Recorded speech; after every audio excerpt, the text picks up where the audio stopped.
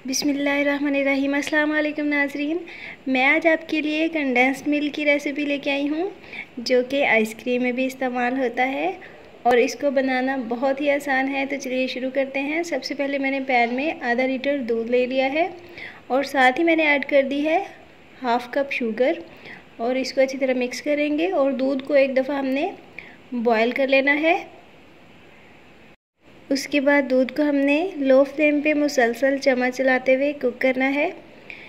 तो आज आपको मैं बताऊँगी कि कंडेंस्ड मिल्क को घर पे तैयार करना बहुत ही आसान है। तो सारे स्टेप्स को फॉलो कीजिएगा और वीडियो को एंड तक लाजमी देखिएगा। यहाँ पे नए नाजरीन से गुजारिश है कि प्लीज़ मेरे चैनल को सब्सक्राइब करें और साथ लगे हुए बेल आइकन को प्रेस करें ताकि नई वीडियोज़ के नोटिफिकेशन आपको मिलते रहें और मुझे हौसला दूध को पकते हुए तकरीबन तीस मिनट हो चुके हैं। दूध की क्वांटिटी भी रिड्यूस हो चुकी है और काफ़ी हद तक दूध ठीक हो चुका है, लेकिन हमने इसको मज़ीद दो मिनट के लिए कुक करना है।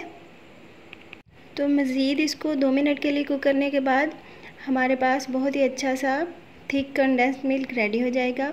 तो देखा आपने कंडेंस्ड मिल्क को घर में तैयार करना कितना आसान है। ये कंडेंस्ड मिल्क बिल्कुल बाज़ार जैसा, लेकिन बाज़ार से सस्ता बन के तैयार होता है। इसको हम आइसक्रीम्स और बाकी स्वीट डिशेस में यूज़ कर सकते हैं। इसलिए कंडेंस मिल्क को बाज़ार से लाने की कोई ज़रूरत नहीं। घर पे तैयार कीजिए और कमेंट सेक्शन में बताइएगा कि आपकी ये रेसिपी कैसी बनी। मुझे दीजिए इजाज़त। मुलाकात होगी अगली वीडियो में। अल्लाह हाफिज़।